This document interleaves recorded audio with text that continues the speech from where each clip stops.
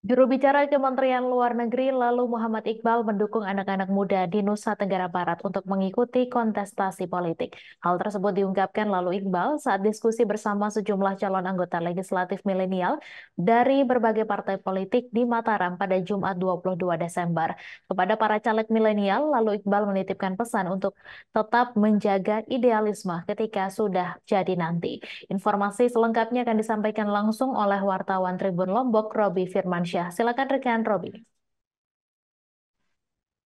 Ya, terima kasih Mei dan juga Tribuners. Eh, pada Jumat sore kemarin, juru bicara Kementerian Luar Negeri Republik Indonesia, lalu Muhammad Iqbal, eh, mengikuti diskusi bersama eh, generasi milenial dan juga caleg milenial di Kota Mataram.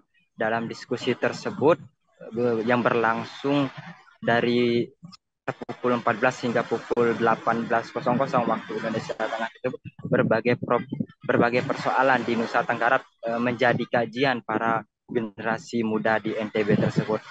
Iqbal cukup tertarik saat membahas e, terkait dengan isu-isu lingkungan. Ternyata di NTB ini masih banyak e, persoalan yang menjadi yang butuh perhatian e, pemuda dan juga Eh, terutama pemimpin Nusa Tenggara Barat. Menurut Iqbal, eh, Iqbal juga memberikan semangat kepada calon anggota legislatif dari generasi milenial tersebut mengingat eh, pada saat kontestasi politik nantinya bukan lawan-lawan dari generasi milenial ini tentunya politisi-politisi senior, politisi-politisi senior. Kendati demikian, Iqbal mengapresiasi semangat perubahan yang dibawa oleh calon generasi eh, calon anggota legislatif tersebut.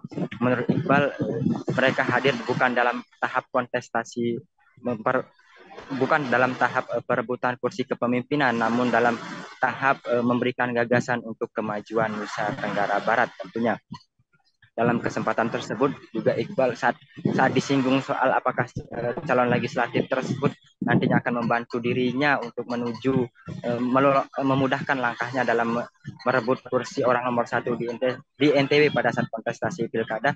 Iqbal tidak menjawab secara gamblang, namun Iqbal menjawab bahwa nantinya persoalan-persoalan yang menjadi bahan diskusi pada sore kemarin uh, akan akan diselesaikan secara bersama-sama.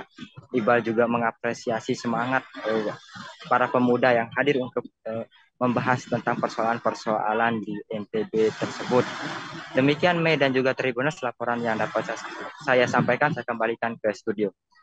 Baik, terima kasih rekan Robi atas laporan Anda. Selamat bertugas kembali. Download Tribun X sekarang. Menghadirkan lokal menjadi Indonesia.